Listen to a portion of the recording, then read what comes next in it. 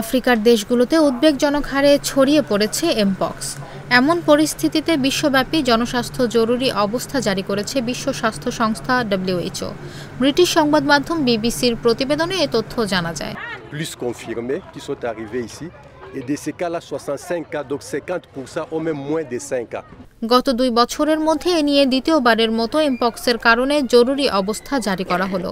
এর আগে দু হাজার বাইশ সালে এর প্রাদুর্ভাবের কারণে জরুরি অবস্থা জারি করা হয়েছিল।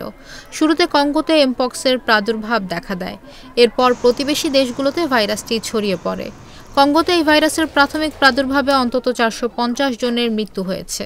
চলতি বছরের শুরু থেকে এখন পর্যন্ত কঙ্গোতে এমপক্সে আক্রান্ত হয়েছে তেরো হাজার সাতশো জন Burundi Central African Republican Kenya এবং রুয়ান্ডাতেও এই ভাইরাস ছড়িয়ে পড়েছে বুধবার ডব্লিউএইচও এক বিবৃতিতে জানায় আফ্রিকার তেরোটি দেশে এই ভাইরাস শনাক্ত হয়েছে এবং এর নতুন ধরনটি আরও দ্রুত ছড়িয়ে পড়ছে So children will be exposed, they will be affected. At the moment, they are few in number.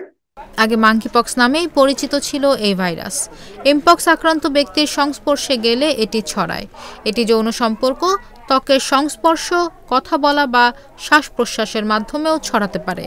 এতে ফ্লুর মতো উপসর্গের পাশাপাশি ক্ষত সৃষ্টি হয়।